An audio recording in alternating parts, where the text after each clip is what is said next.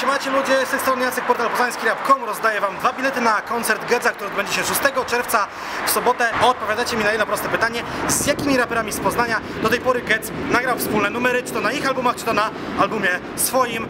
E, odpowiedzi wysyłacie mi na konkurs małpa poznańskirap.com. Wyniki 5 czerwca po południu oczywiście na Facebooku oraz pod tym filmem na YouTubie. 6 widzimy się na koncercie Gedza. Czołem!